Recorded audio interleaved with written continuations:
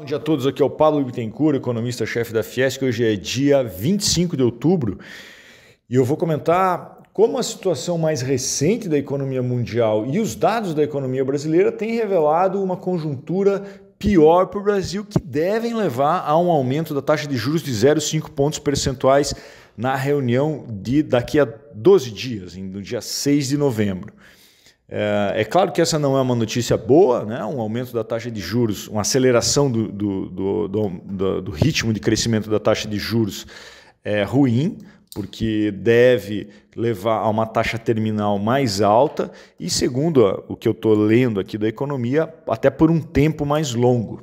Então, eu vou comentar, iniciando pelo fronte externo, a gente tem uma situação em que nos Estados Unidos o acirramento da eleição uh, presidencial entre Kamala Harris e Donald Trump tem levado a uma perspectiva de que o, o, o, a, a, condição fiscal, né, o superávit fiscal, a construção de um resultado primário fiscal positivo, ela é muito difícil.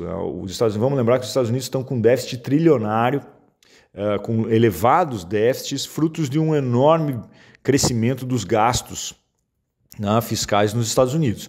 Uh, o que deve acontecer pelo se houver uma vitória do Donald Trump é que uma diminuição de impostos. E com uma diminuição de impostos, é, fica mais difícil arrecadar. Né? E a, arrecadação acaba tendo uma promessa não, não, não positiva né, de arrecadação, o que, com um déficit nesse nível, torna é, menos provável a resolução desse problema. Do ponto de vista ou se ganha Kamala Harris, você tem uma manutenção dessa estratégia, até uma intensificação da estratégia, pelo que está sendo colocado na campanha, de aumento de gastos. Né? Então, é, a situação não é boa com qualquer uma das duas situações. Mas vamos à frente.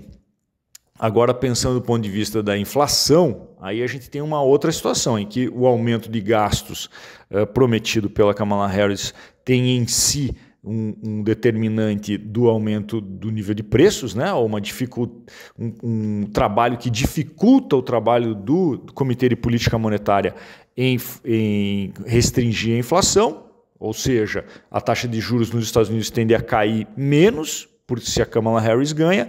No entanto, se o Trump ganha, as promessas do Trump são de aumento de tarifas internacionais é, especialmente contra a China, isso tende a encarecer os produtos também, e tende a restringir uma política migratória que, no final das contas, acaba explicando os salários mais baixos nos Estados Unidos. Né? Quer dizer, são os imigrantes que recebem os salários mais baixos e restrições à migração tendem a pressionar o mercado de trabalho.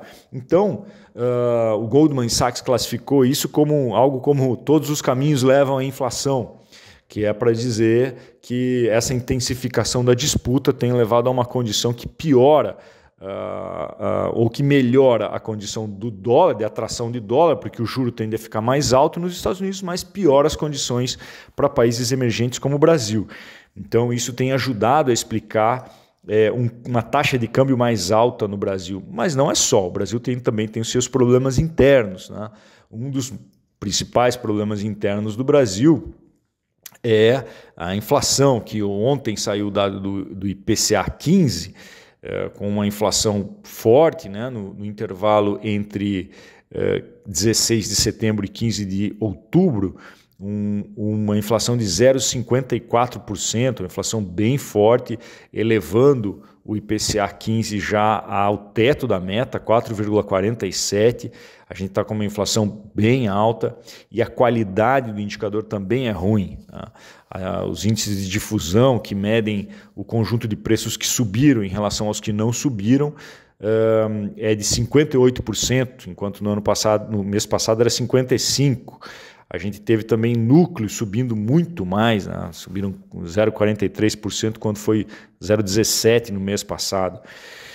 E boa parte da explicação desse índice mais alto está em basicamente em dois fatores. O primeiro fator é a seca, né? a gente teve uma seca, está tendo uma seca no Brasil, uh, na região uh, centro-oeste e norte, e essa seca, sudeste e norte, e essa, e essa seca tem uh, elevado, piorado as condições de colheita, por isso elevado o preço de diversos alimentos, uh, carnes também, Uh, e a, o menor nível né, de água nos reservatórios tem, elevou significativamente o preço da energia.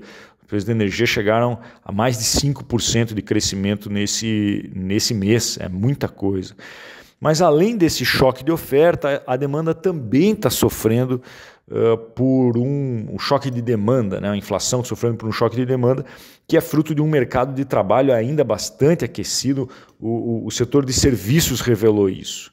A inflação de serviços veio de novo alta, forte, 0,59%, uma pressão é, bem significativa e que revela basicamente que a, atividade econômica continua forte. Apesar da última elevação de taxa de juros, apesar da gente ter um juro bastante alto, a atividade econômica continua forte. Veja-se, por exemplo, que a, arrecadação em setembro bateu recorde, né, 203 bilhões de, de reais de arrecadação, uh, mostrando, é, é, um recorde, né? mostrando que a economia, portanto, uh, também continua forte. Mais um indicador mostrando que a economia continua forte, crescendo no final do terceiro trimestre, quando já se esperava um, um arrefecimento aí desse crescimento. Então, assim, sintetizando a situação, o que a gente tem é, é que somente assim, o que poderia alentar a situação aqui no Brasil é um, um pacote de contração de gastos que deverá ser anunciado até é, depois das eleições, pelo menos tá, tá o governo está tá dizendo isso, né, que deve anunciar um pacote de, de corte de gastos para depois das eleições, do segundo turno da eleição municipal, mas teria que ser um pacote muito robusto, né, um pacote robusto mesmo que melhorasse a credibilidade da política fiscal. Acho que esse é a assim, a, é é a, melhor notícia que o Brasil pode ter seria um, um pacote fiscal agressivo e rígido. Né? Eu, sinceramente, não espero que isso vá acontecer, mas uh, existe a possibilidade, porque a gente sabe que existem bons diagnósticos. Né? Talvez falte um pouco de, de, de, de compreensão, empenho político, mas isso é uma outra é uma outra variável.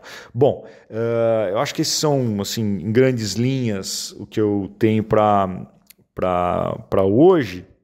Sintetizando rapidamente, é, todas as condições aqui, tanto externas como condições internas, têm é, dado subsídios suficientes para acreditar que o Banco Central vai elevar a taxa de juros em 0,5 pontos percentuais na, daqui a 15 dias, 12 dias na próxima reunião do Comitê de Política Monetária.